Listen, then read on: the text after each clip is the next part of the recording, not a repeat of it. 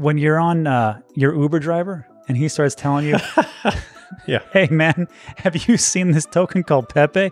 You're like, oh my god, I gotta sell all this stuff. So the DePIN, the the AI aspect of it, the Web three gaming aspect of it, the layer twos, layer threes, and everything else that's you know in in between. There's so many things that are new and interesting that will actually help things move along in our global economy. What, my Bitcoin, I want to have my Bitcoin forever. Yeah. I want to hold it for as long as possible. And I want everything else I'm into to be the stuff I sell every cycle. Bitcoin, though, I want it because I'm, I'm a crazy person who thinks it's going to be a million dollar asset in the future, things like that. let's just say the dollar collapse. I'm like, yeah, that's right. Let's talk about that. and he's like, let's say the dollar collapse and it gets backed up by Bitcoin. Everything's by Bitcoin. He goes, so all you're telling me that all these ETFs and all these institutions are going to own like essentially four to eight percent, probably ten percent at some point. And I'm like, yeah. He goes, well, how the heck is that decentralized? Always have a moon bag. I can't tell you how many times in previous cycles I've seen something do a 100x or 500x or whatever. Everyone thinks, okay, that's done. Yeah. And then it does another 100x after that or something. People like say, why do you always talk about taking profits? I go, because as time goes on, I'm going to dump. And uh, it's up to you to figure out when it is to sell for you and take profits. If you don't, I will dump on you. I will dump on every single person watching this this video. I want you to take profits. I want you to be financially secure, and I want you to do a smart thing that is for you. Hey, friends, thanks for tuning in to the Andy and Friends podcast. I'm your friend Andy, and in this episode, I talk with Rob from Digital Asset News. I'm sure many of you who listen to this podcast and watch my channel are familiar with Rob's YouTube channel. In this episode, we talked about the current landscape of crypto, uh, where Rob is investing, his investing strategy around crypto, when he will be selling, when he'll be looking to take profits. We talk about what narratives he's looking at in crypto. We also talk about his rules for crypto investing and a lot of great advice just for anybody out there who's learning and wanting to know how to navigate this space. Let's jump into it. And here we are on the episode with Rob. Good to see you. Handy is good to be here, man. But it's been some time, right? This is the mm. first time we've been to a meeting. This is good. First real life outside of the crypto verse in the real world. It's it's it's strange. This is how people used to do it. They used to meet face to face. They'd actually shake a hand. There was no Zoom meetings. There God was no forbid. yeah. but here we are. But I'm glad I'm here in Austin. We're here for consensus. I know you actually live here, but uh, it's good to meet up with people that uh, I've been following for a while. Yeah, so I want to start this with the most basic of basic questions, just because I want to I want to learn this about you. When did you start in crypto, and why? Like, what compelled you to enter the wild west of Yeah. crypto? So in 2012, my son came home from school and he said, "Hey, uh, there's this kid at school and he's selling Bitcoin, and it's five hundred dollars for 500 Bitcoin. It's on a hard drive." And I go, "That's fantastic, Alan. What the hell is Bitcoin?" And then you know when you first start, like you, you- you're trying to understand what it is, you're trying to explain. It's like, well, it's decentralized it's government and nation states, and it's going to be really thing, and you know, it's decentralized. I'm like, that doesn't make any sense, kid. I go, no, I'm not going to buy 500 Bitcoin for $500. That was my first intro. And of course, I always look back, me and my wife, we talk about it. Even if I would have bought for 500 bucks, I guarantee I would have sold it at 750 or 1000 because I didn't know what I had. So fast forward to 2017 and I and of course we hear about the China bans and I was like, "See kid, I told you, it never is going to work." And then we get later into it November, actually it was November of 2017. and I go, "You know, Bitcoin at the beginning of the year was like a 1000 bucks and now it's 8500 bucks." maybe I should get into this. And of course, when you first get into it, what is it all about? Number go up. Mhm. Number go up. I like that. And you get into that, and then before you know it, you think you're a genius because it goes up Yep. to 10, then 15, then 20. And then you're into crazy stuff like Ethereum and XRP. And I went from pennies to dollars, and you're like, I'm the smartest man alive. This is so simple. And then it crashes. So that was my my first foray into crypto 2017 2018 my first cycle Yeah, 2017, twenty thousand dollar Bitcoin. 2019, three thousand eight hundred dollar Bitcoin. yeah. If you can survive those movements and you're still like in the space or you have like interest in the space, like more power to you because it's you have to be like a rare breed to deal with that type of stuff. And that's the number one reason why everyone's like, it's a scam. Volatility is, you know, is the thing wrong with it or whatever. But I think we see the volatility as a good thing. Well, I mean, opportunity. Yeah, we, we, exactly. We see it as a good thing, but like for you, actually, for every, anybody in, in this in this whole arena, like when you take a look at like with Bitcoin mining, I'm sure at some point you're like, hmm, this is becoming not as profitable as it used to Yeah. be. Wow, this is a lot of electricity. Wow, I got to upgrade this. Before you you're, you know, it, you're like, how can I really get ahead? And it really just comes down to just sticking it out, sticking it out, and going, well, there's hard times and there's good times. I think if I'm just around here for the long haul, things will actually work out. And I didn't really like back then. That was really the second cycle because the first everything kind of kicks off with with the halving, right? 2012 was the first halving. 2013 we get an all time high, and then we get what I call as a dip and a reset. Then we go through a halving in 2016. 2017 is an all time high. So it was our second one. I didn't realize that. I, I didn't even realize about the four year cycles back then, and who knows if they're going to stay intact. But looking back, if someone would have told me, Rob, it's okay. Just hang around for these, you know, just have a long term horizon. And the long term could be at a minimum of four years, which is what a lot of the TradFi people do not say. They say, oh, just, you know, stick around for a short amount of time. And if you're not, then just get out. But if someone would have sold me four years, you're going to like where you're going to be, I think I would have held on to a heck of a lot more. And I think that's really what it comes down to, especially also with mining as well. Yeah, uh, crypto is a weird place to where um, it rewards people and it enables people and it attracts people who have you know the brains of, of fly like these really short term um, expectations and uh, and and mindsets where it's like I'm gonna you know 1000x tomorrow or whatever. Um, and where you know having some long term mindset is really helpful but still even if you have a long term mindset in the world of crypto it's still short term compared to traditional markets. Like if you think about you know just over the past five or six years uh, since you've been in crypto uh, heavily since i've been in crypto heavily five or six years what is that when it comes to traditional markets it, you know, it's it not even is it short. If you now that I think about it, not even really short, but before crypto, we were in real estate, and five or six years is not really much of anything because you're looking for, especially if you're holding on to like like houses or multiple unit uh, type apartment complexes, even shorter long term rentals doesn't really matter. But if you're looking at five or six years, you're kind of looking a little bit funny, a little bit weird, unless you're like a flipper. But those guys are kind of like they're the uh, they're the uh, uh, really fast type of trader. If you're looking at like 20, 30, 40 years and generational wealth is like passing this on to your kids so that they can also rent it out. And of course, for the tax benefits that you get for the depreciation value of those houses or those apartment complexes, you start to think to yourself, okay, 30 years, 40 years is not a long time. So like when you said five or six years, it's the same, it's the same thing. I mean, 40 years, if you go back at any time in history of Bitcoin and go back then, you're way ahead, four years or before. so you said before the crypto world it was real estate for you Yeah, it's funny because like, well, before that, way, way before that, uh, when I was a young man without this white beard, uh, military. So I served in the military. It was a what was used to be called a 91 Bravo, which I don't know what it's called now. It's a combat medic, and then uh, there for years, and then uh, got out, went into uh, medical, did medical device sales, medical device marketing, and then finally went into uh, for uh, home healthcare as far as like uh, for a nationwide uh, intake coordinator. So we did that for for years, and then we started to say, you know, I mean, the wife said, you know, time to get into a little bit more real estate. And you just save up and take a little bit of time. You buy kind of a fixer upper, then kind of go from there. You get a long term, short term rental, and then, of course, maybe apartment complexes here. And before you know it, you're like, okay, we're doing okay. And then you don't have to work for anybody. And then, of course, when you don't work for anybody, you're like, wow, this is way better than I thought it was ever going to be. But then, but then it becomes this, and we just talked about this before, which is like be, when you're not working for anybody, then what are your friends doing? They're working for somebody. So I want everybody who's watching this video to start to really start to invest more and get into crypto a little bit. That way, I can have more people to hang around with because I don't, I I don't need anybody working nine to five anymore. yeah so uh, if you're watching rob just said quit your job so we can have more friends that's Yeah. what it comes down to Not financial advice. Oh my God, no. So now that so real estate and stuff and the traditional world, then crypto comes along. Are you mostly crypto now? Is it still a good split? Like, what's your overall investing strategy?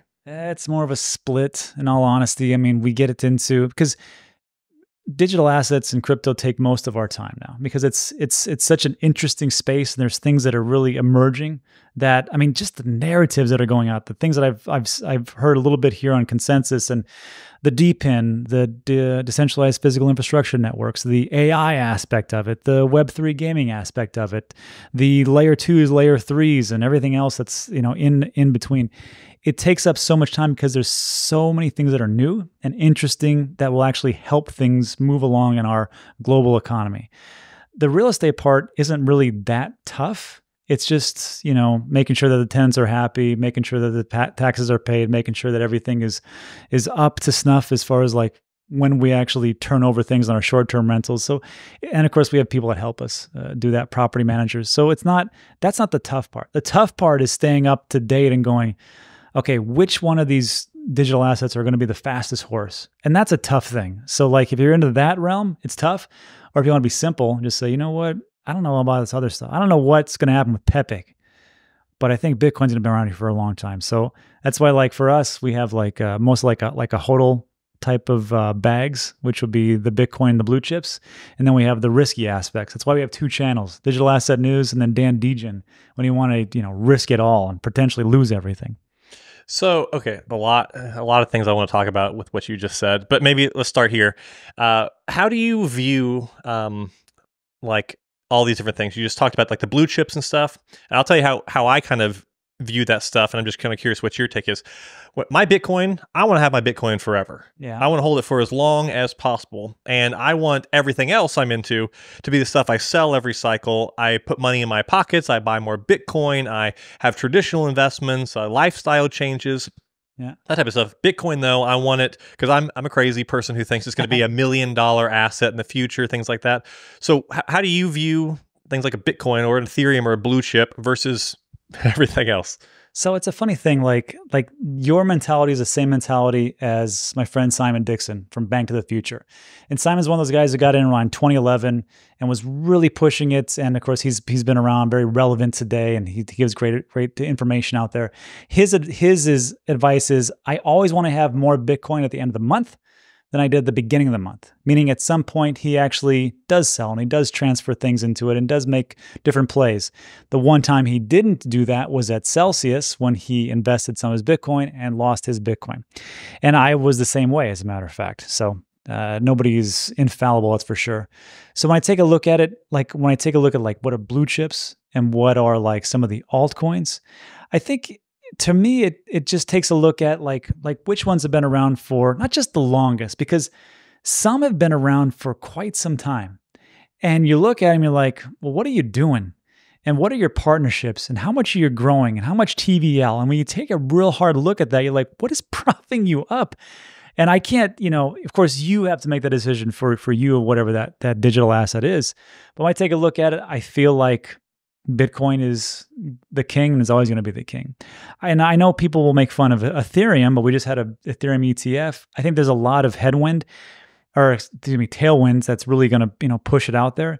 But there is one thing about Ethereum that uh, I, people have talked about. I live in Puerto Rico, and I can just tell you that as far as like the crypto OGs that I meet, it's mostly Bitcoin and or Ethereum, and there is so much money and prestige that's in Ethereum, they will make this work regardless. And I know like people say, well, layer ones are very slow. That's why they're gonna have layer twos and layer th- layer threes. I know some people say, well, what about Solana? What about this other stuff? Solana is a great one. And I think if, if we have to take a look at what's the next ETF, I mean, if you take a look at the inflows for the institutions, it's looking pretty positive for Solana to get to that next step, depending on what Gary Gensler says. But when I take a look at it, I kind of go down that list. And I would say, like right now, Bitcoin, Ethereum, I know some people aren't going to like this, but I think Solana is going to be that next blue chip. And we just got a press story today that PayPal is going through their stable coins on Solana. Well, one of the what I, I have only had a chance today a consensus to to sit in on one session, but it was the Cathie Woods one, and that was the thing she said. She's like, you know, uh, was we were not expecting Ethereum ETF. Very surprised to see it, excited to see it. Uh, but now that that's you know through the door, I imagine they're not going to do open the floodgates. But the next one that makes a lot of sense is Solana ETF. So there might be something there. But you know, that's a VC coin.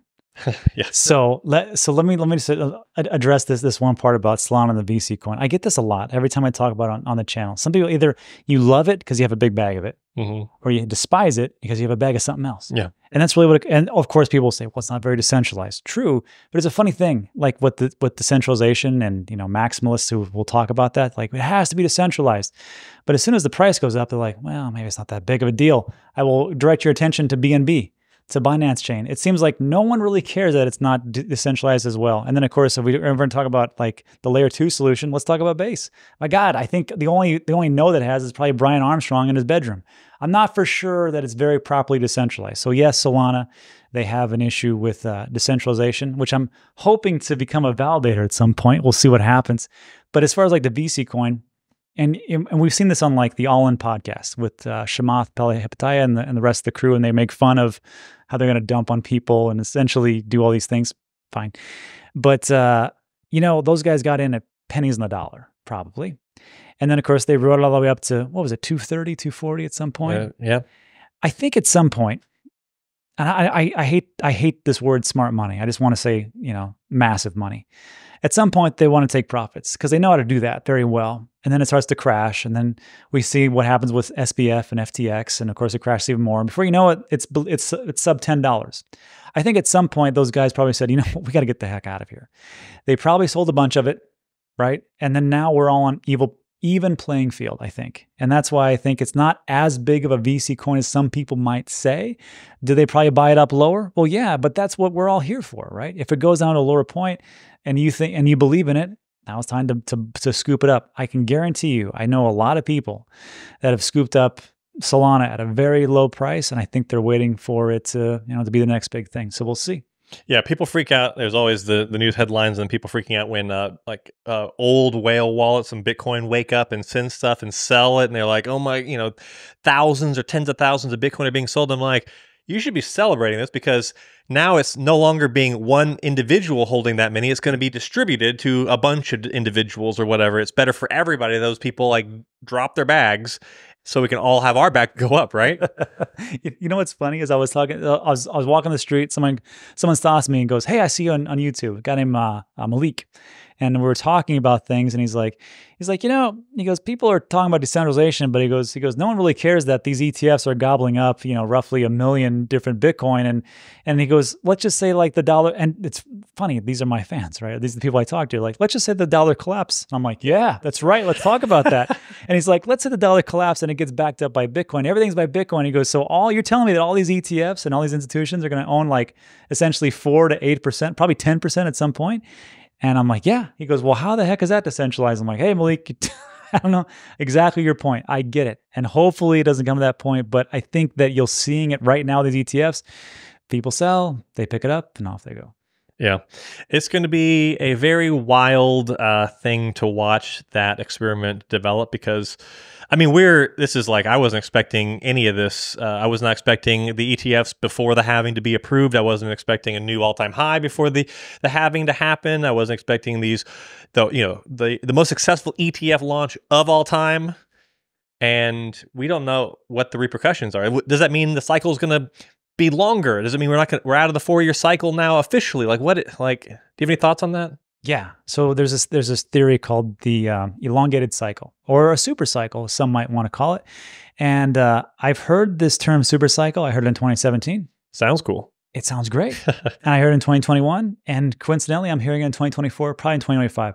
Does that mean it can't go to a super cycle? At some point, I think the four year cycles will go away because at some point we'll have a sort of equilibrium because there's only so much that you can get into.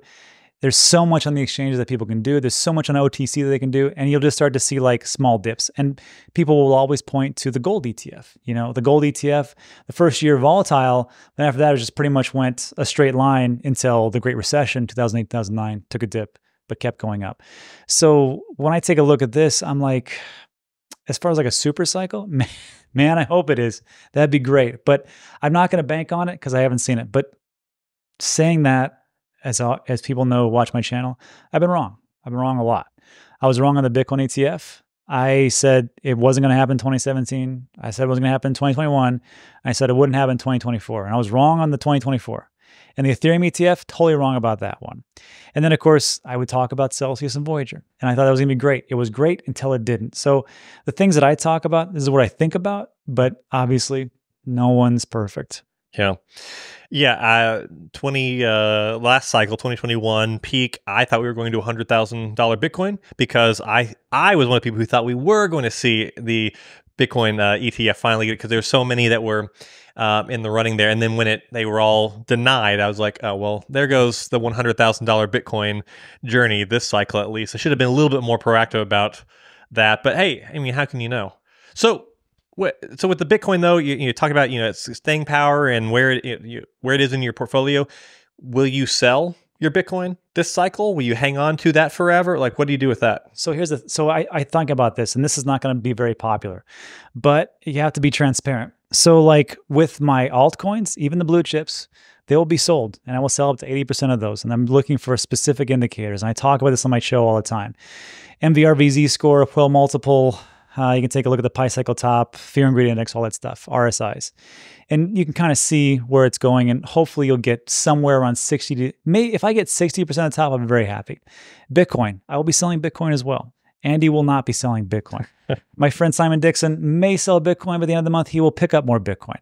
I will be selling it. And the reason why is because of this. I know people say, well, that's very, you know, if you think it's going to go to a million, why would you sell? It's because I don't believe in the super cycles, elongated cycles. I don't see them there. And if I sell, let's just say that I have, I don't know, let's say I have two Bitcoin, right?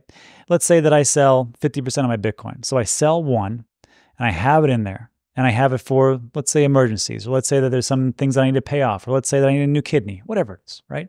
So I have those funds in there. As time goes on and I take a look at it, I think that we'll start to see more of dips and crashes, for your cycles uh, as well. But if you look at the global stance for where we're at, and if, if the maximalists are correct, and we really do say that every Bitcoin will be in every nation state, it'll be sovereign currency, it'll be backed, and it'll be gold, silver, Bitcoin, if you believe in that, or some some form of reserve currency, and Bitcoin becomes that, which is kind of becoming with the ETFs, and that means that there's not enough Bitcoin to go around. Even if you take all the millionaires in the entire world, I think you can only have like 0.02. So someone will correct me in the comment section. So if I keep one Bitcoin, I'm a whole Bitcoiner. I'm still pretty good. And my kids, they're just fine.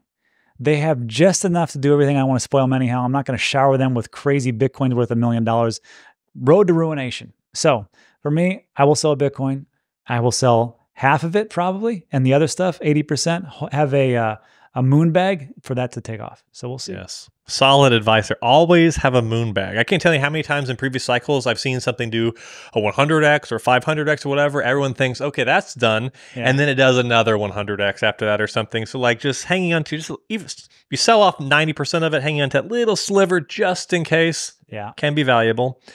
Uh, so, that's okay. That's really interesting. So, for for people who don't watch your channel and for people who maybe aren't super into technicals and various things, what are some like uh some like uh plebe level like indicator like viewing like when to sell? How would you know if you were kind of a newer person in the space? Oh, this is easy. So when you're on uh, your Uber driver and he starts telling you, yeah, hey man, have you seen this token called Pepe? You're like, oh my god, I gotta sell all this stuff. So that's that, that's just one of them. But like, if, like plebs and like to make it super simple, look, there's no shortage of people who on YouTube and X who will tell you this is the top or this is the bottom. What's great about them is that they are right once but they're wrong like the other 49 times. So you just have to kind of root those out as much as possible. For me, I just take a look at it and I there's some basics that I take a look at. And the first time I was just doing it by price predictions and fractals. I would just say, well, you know, Bitcoin went from 1,000 to 20,000, that's a 20x. So maybe we can go from the, low to the next one to 10x, which would give us to 100,000 because we went to 10. Obviously, didn't work. We hit to 73, didn't make it out, right? But we just have like these price points. Every 20%, I start to sell a little bit. This time around, I'm looking for a little bit more indicators. The one that I'm looking for, and you can find all these indicators for free uh, for most of them at uh, lookintobitcoin.com. And you can take a look at the one is the Pi Cycle Top, which was created by uh, Philip Swift in 2019. And people think that it was created in 2021. It wasn't. It was 2019, and it predicted very accurately the 2013 top, 2017 top. And coincidentally a pretty good top for 2021. So it's when the 350 day moving average times two cross over the 100 day moving average, and you kind of see where it goes, and that's where pretty much the top is. Does that is that going to work? Well, that's just for Bitcoin. Now we get into like let's take a look at the MVRV score, which is the market value versus realized value. Take away with the Z to kind of take away all the all the noise, and you can kind of it's color coded. When it hits in the red, you want to start to sell. When it gets into the green, you want to start buying. Very very simple, right? Or actually, no, I flipped that around. And another one I like to look at is time and risk bands. And time and risk bands is just the time that Bitcoin has been at a certain risk level over its entire existence. And you can also take this from time and risk bands from Bitcoin. You can do it for Ethereum. You can do it for Solana. You can do it for Cardano. Everything that's out there, and it's it's actually what I base my dollar cost averaging strategy in. And what I take a look is when it's in the middle, it goes from 0.01, then 0.2, 25, 6, 7, 8, 9, and then 1. When it's in the middle, I'm still dollar cost averaging. When it gets less risky, I double my dollar cost averaging to 0.3, 0.2, 0.1. And then when it's down here, which is coincidentally when it was like 17K, or back in the day of March of 2021 was 35K, uh, or 30,500. But then when it comes over here, the other side, and it starts to go to 0.6, 7, 8, 9, 1, when it's at the the time and risk band of one, it's only been there, I think, like 28 days, 32 days, somewhere around there. So when it starts to get there, I'm really looking at, again, all these things to kind of combine and say, okay, this is my best estimation and I'm going to start to layer out. If I'm going to layer in, I'm going to layer out, right? I dollar cost average. I've been dollar cost average since 2022, which was kind of like throwing sand in the ocean some days.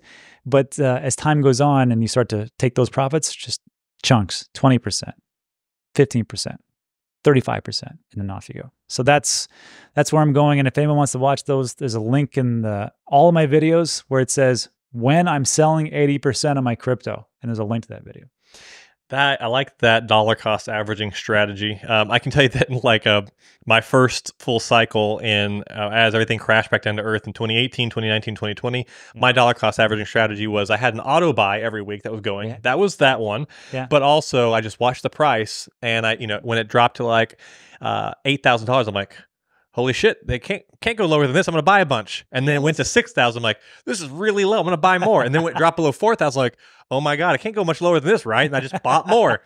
Uh, so every time it just kind of surprised me. I just bought as much as I could. It turns out that was a great decision.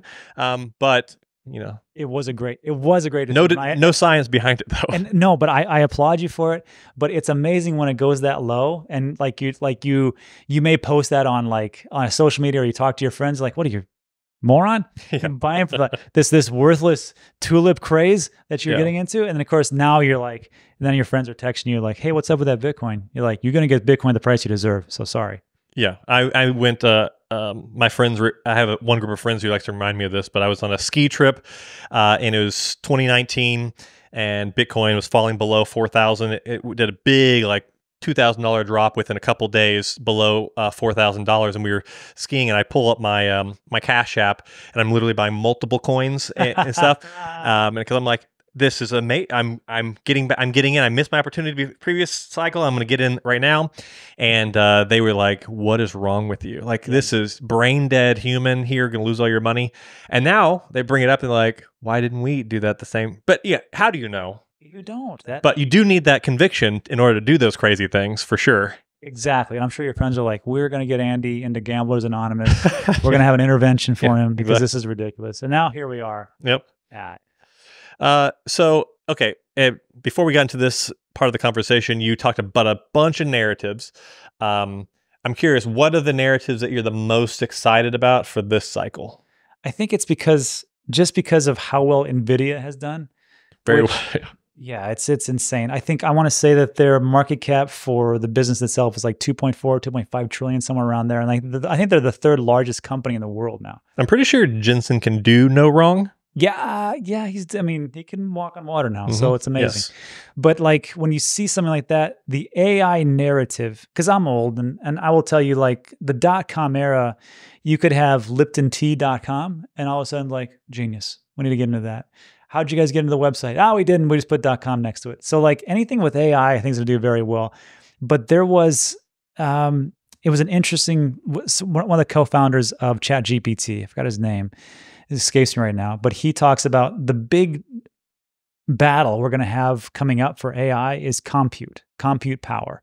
He goes, there's only so many uh, different processors that are out there or GPUs that we can use. There's only so much that we can actually create and, and, and move forward till we actually get AI to be on the level where we want it to be and beyond. So everybody's going to be fighting for compute. And I didn't know this, but like when you have these GPUs in these warehouses, they're um, not as optimized as you want want them to be. So they they may be running and using for for uh, for these for ChatGPT, but they're not as well uh, versed and they're using like 15 to 20% sometimes. So what they're doing is they're saying like if you have GPUs across the way, we're going to want to use the unused GPU power for that. And if you do that, we'll pay you in this certain crypto. So I've seen like like Render is doing this this this type of thing. You've got Aethir, A E T H I R, which hasn't even launched yet. Uh, so, I mean the, the, token itself. You've got IO.net and a host and like uh, Gaimin also doing the same thing for Web3. So I look at and of course you've got uh, Ocean Protocol and you've got um, Singular and I think there was one more that is the, the trifecta for where as they come and get uh, uh, merged together. So if you have all these AI fetch AI, that's what it is. So if you have all these these narratives coming, I mean this AI narrative, I think there's a reason why you're seeing more of those. The question is which one's going to make it. And maybe if you're like, look, I'm just here to turn a profit, maybe you start to dabble into each one and then find out which one that you think is going to make it and then go that route. Yeah, I I'm a little bit of a believer that if AI is the monster, I think it will be this cycle. Uh, all we need is a couple of those to actually be winners, and it will probably lift that that tide will lift all boats for a while until until, until the thing cools off. Until they figure it out. Yeah, right? but like some of my biggest positions, Flux, um, Clore, Octaspace, these are all compute based projects, but small market caps because I like to dabble in the. That's where you should go, everybody. If you're looking for a gambler, small market caps is an, a good strategy. Yeah. Yeah, but I mean, all the names you mentioned, those yeah, those are all all um, things in the space. Uh, what is interesting that you mentioned Nvidia and uh, and Jensen in a recent interview did say like he wants to make you know, he wants to million x the the availability of chips and make it to where it's such a commodity, so commoditized that it's like almost free to do this. Um, so there, that part is like if that actually comes true, it's a little bit scary for all this kind of compute stuff now. But that's got to be ye like decade minimum away before we get to that level. Well, look at like like the internet. How many people had the internet in the very beginning, right? And of course, well, first of all, you had to get a, a DVD-ROM. I know if you guys know what these are, or CD, and you could actually get the CD with with the AOL and the little running guy, and you had to put that in there, and you had to download it and actually make it work. And you're like, okay, now what? Now you're paying 100 bucks a month for the worst service of all time, and you could download a picture every 30 minutes. And it was that was essentially what it is. Now, of course, everything becomes cheaper as time goes on. So maybe, but in the beginning, you got a good point. And even at that stage, it that was really far in the cycle of of the internet. The internet was invented in the 60s. Yeah. yeah. 80s, it had the microscope amount of traction 90s and then aol and by that point it's still like a niche thing. Very few people are even like they're just starting to grasp it starting to make its way into you know normal homes but still fairly rare on a global scale. You know what always interests me about me about the internet back then is i would hear about all the jobs that were going to be lost because people were like well this is going to take over this job and that job. But if, if you go if you go forward in time you're like okay i need someone to do my seo for my website. You're like what are you talking about I also need someone to do like like Facebook ads and do a blog post and like what are you talking about? It doesn't make any sense. And now here we are, and we're like, oh, these are just new jobs created from that. So with AI, who knows if we actually do lose all these jobs or it's something else? I'm not for sure. Yeah, and like the the fear around you know these things, it's like a lot of you know with automation and AI and various things. There's probably a lot of jobs it's going to get rid of, but will we be sad that those jobs are gone? There will be new opportunities and new jobs in the future that maybe are easier, nicer, or more lucrative. I don't know. So who's going to fix those robots? In the beginning, it's going to be people, and then the robots are going to fix the robots.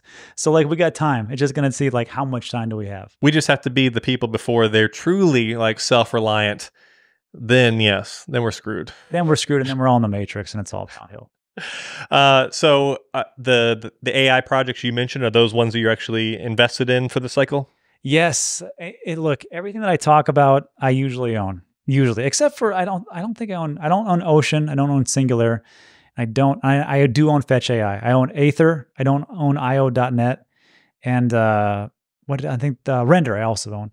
So like usually when I talk about things, it's because I'm super biased and I I believe in them. But uh, so for all those projects, yeah, I will check out the ones you were talking about. Those low cappers. I'll probably talk about those on Dan Degen, the channel. Yeah. Uh, so you heard you heard it here. Uh, Rob is just uh, shilling his own bags. Yes, He's just pumping his own bags.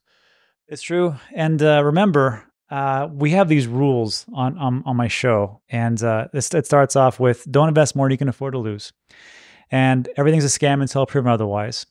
And one of the last ones is called take profits. And I say take profits, and people like say, why do you always talk about taking profits? I go because it's it's because for as long as I've been around, people round trip or they stick things into an exchange and they don't take it off. That's one of our other rules. Don't leave anything on the exchanges. So I'm just going to tell you right now, as time goes on, I'm going to dump.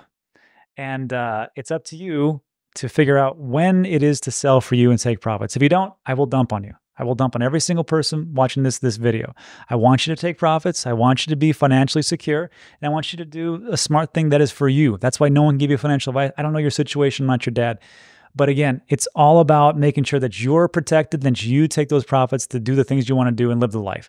Bitcoin's great, but I will tell you right now, it's not giving you family, it's not giving you, or it's not family, it's not time, and it's not health. It can help you do those things, Yep. but it is not those things.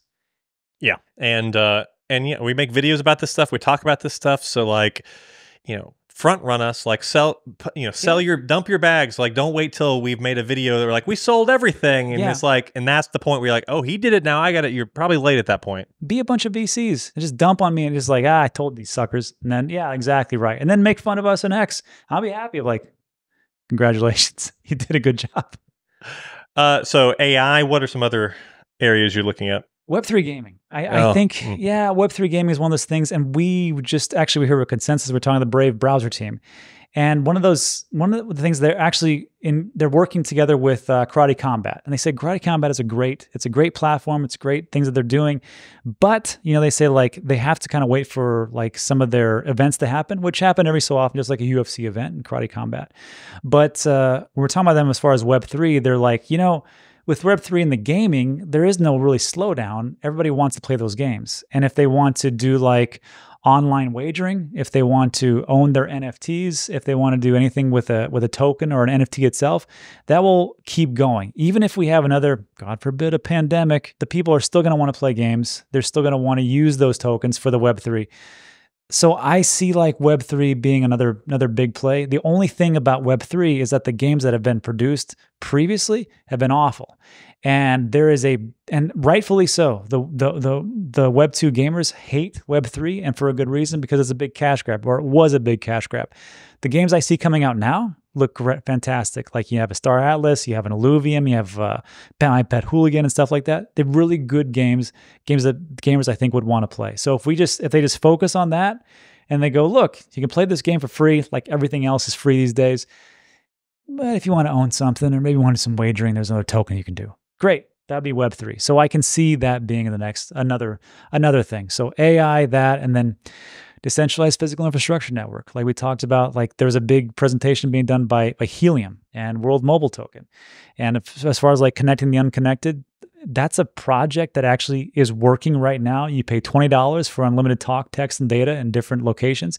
You can get your own node, you can set it up, and you can start to mine the Helium uh, network token. There's actually three tokens there's uh, Helium, mobile, and IoT. So, like when I see something like that and it actually is a working product, that's way ahead of the game. And there's one another one called Hivemapper, kind of like Google Maps and stuff like that. So decentralized physical infrastructure network, World Mobile, and there's another one that I'm uh, involved with, and yes, I bought into it. It's called Minutes Network. Essentially, it's it's allowing for your calls that you do, you're going to be able to eliminate the middleman and actually get paid for the calls that you do, depending on the apps that you download. And uh, video on that one Dan. I just uh, I just started a conversation with Minutes Network, so Oh, I haven't. Uh, Josh, yeah. yeah, they sent me your video, so I'm gonna, it's on my to watch to watch list. I gotta check that out. Uh, I am so bullish on DePIN. It just makes so much sense. It's like a win win win.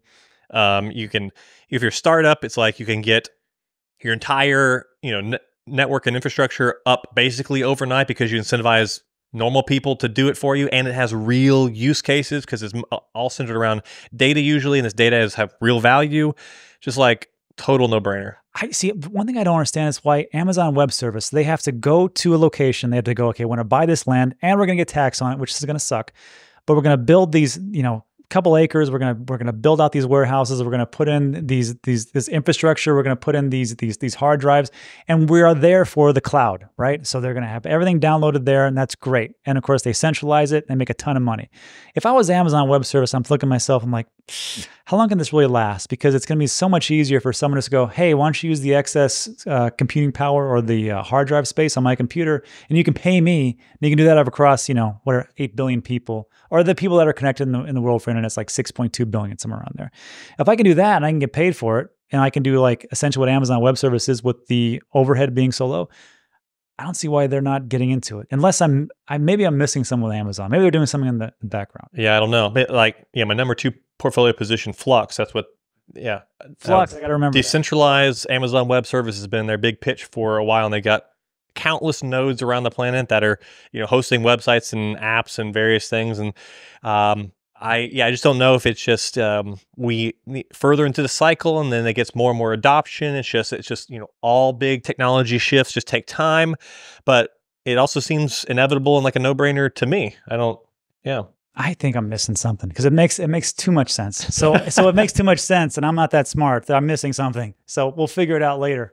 But the to go back a second, the gaming, I am also just like all about the gaming. Now, I mean, uh, our, our mutual friend uh, Jesus, Jesus. Mar- Martinez, he he's the real guy to talk to about all this because he lives and breathes that stuff. But I'm just yeah. Last cycle, it was interesting, like experiment, uh, the clickers and stuff, and it was cash grab, and there wasn't really anything fun to play. Axie. But it pushed the ball forward, which is which is good. This cycle though, there's some actual real stuff, and I'm not actually in um, any of the ones you mentioned, but like uh, I'm in uh, Shrapnel, Shrapnel's and Off the Grid, um, yeah. like AAA titles with teams with actual pedigree, with mechanics that, um, like uh, like on Shrapnel, one of the things I, I keep telling everybody very excitedly, they have this mode that's a pink slip mode, to where when you drop into the the server on that mode, if you get killed, you lose all your shit. No, and kidding. people can take it and then exit the game and leave with it. That's big time. But now we're both YouTubers, so imagine this aspect of it. Some big gaming channel, they buy a five thousand dollar gun, a ten thousand uh, skin, and the whole the video is I bought a ten thousand dollar skin and I dropped into a public server. Here's what happened, and then just imagine watching the how the virality of that. It's like that's going to make a shit ton of money. Like it has to. It, it has to. So like, and let's say like that that pink slip is now an NFT, right? Mm-hmm. So like you have that in your wallet, and then you just go and you're like, hey, look, I got this ten thousand dollar gun, and I'm gonna go put this on like as for like a resale. Because I know like with some of the other games, it's against their TOS, their terms of service, to actually take those and like resell them. But if you can do something like that, and you can put it on a on a on a on a tertiary market or a third market, wow. Well, shrapnel that that's one of the whole things. They have fiat in and out, so you can sell that. You can grab that YouTuber's gun. You can sell it on on their marketplace. You can exit in fiat, and guess what? you just made five thousand dollars gaming. And and yet, and this is the thing. Like I, I hear that I'm like that makes sense, but yet if you get a lot of the, the the Web two individuals, the ones that are traditional gamers, they look at that and they go cash grab. Yeah, it's a, it's a shame that they would think that because right now with you know all the current games, you buy all these skins, you buy all these things in game, and that's stuck there forever. You, it's a burnt cost. And now for the first time, we have you know this thing that you know maybe on surface seems like a cash grab, but you can get that money back out, and that's that's very rare. I think it's just going to come down to they got to make like shrapnel, like you were talking about. That's a game that people want to play. Once they get into it, they go, "Oh, this is free. Okay, I'm going to let this yep. slide." They're going to play it, and then I'm like, okay, what's this Web3 part? And then they're going to get into that part. I think it's a natural progression, but it's going to take time because trust has been broken, and rightfully so. And then they're going to come in. I I think so, but who knows? I hope so. Um, but yeah, DePIN, AI, uh, gaming, these are three major focuses for me this cycle. Hopefully, all pays off. Oh, there is one more, one more narrative meme coins. I think we need to talk about that because you tweet about the meme coins and stuff and dabble in. I I'm I'm afraid. and, and Show me the way, Rob. As well, you well, I'm not the guy. There's a there's a guy that uh, he owns the uh, San Juan Smokehouse. His name's Stephen Ellis, and he is the true degen. He's my my degen in charge, and he'll tell me about all these wacky projects that are coming out, and I'm like, why do you think that's going to do well? well, it's this narrative in this community, and that's pretty much it. I'm like, that's gonna do well. Yeah. And sure enough, it does well. So it's one of those things where like I look at it, it's so super risky. But one thing I, I will say, we are talking about VC coins a little bit ago with Solana. And one of the things that people hate about VCs, and rightfully so, is that they get into these seed, pre seed private sales, right? Pennies on the dollar. Then when it gets released, it's so like, let's say, like Tomato Coin, it's for a, a nickel. They get it for a nickel. It gets listed on a centralized exchange, tier one, tier two, doesn't matter. And it's it's immediately at 50 cents right? And then it blows up to three, four, five dollars. What do you think a VC is going to do? That's what they do, right? They just they just say, well, I'm going to sell because this is what my my my whole life purpose is, is to dump on people. But for like these meme coins, it's just like, hey, there it is. All of it is just out there. Do what do what you want with it. There is no like private rounds. There is no seed sales. It's just if, if we have a circulating supply and a total supply, it's the same thing. Here they all are. You can go pick them up on this DEX, have fun. And that's where I think people are like, all right, I'll get into that. And that's where the gamble comes in. Mhm. And that's where the rug pulls come in. But that's where there are some funds that are funds that are made, but it's very, very risky. And um, one or two things going to happen. 99% of the time, 0.9, you're going to lose everything. But that 0.1%, you could, you might make some money. Yeah, I haven't thought about it like that. That's interesting. Yeah, I mean, I most people I imagine only lose money in meme coins, but it is a bit of an equalizer, which is kind of cool. Yeah. It does level the playing field, which, but you just gotta, yeah, you have to be savvy enough to be on that playing field. Dude, and you, you got to be ballsy because if you're out there, you're like, okay, I'm to do this.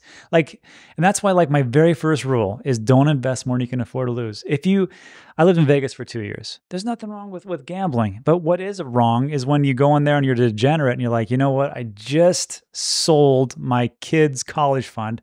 Let's put it all on black, and that's a, there's but there's varying degrees, and I think that's where like you know Gary Gensler is like trying to protect us from that. Look, if you want to protect anybody, go down the casinos. They need a lot of help with with some of those people that are just degenerate gamblers. Here, I think we know we're getting into for the most part, and I just don't s- you know see the issue. But with meme coins, it is one of those things. There is one that I, I do like, and I always talk about it. It's um well, there's two. There's Bonk, which I always thought was going to be great, and it's kind of goofy. But there's one. It's called Tucker Tucker Curlson.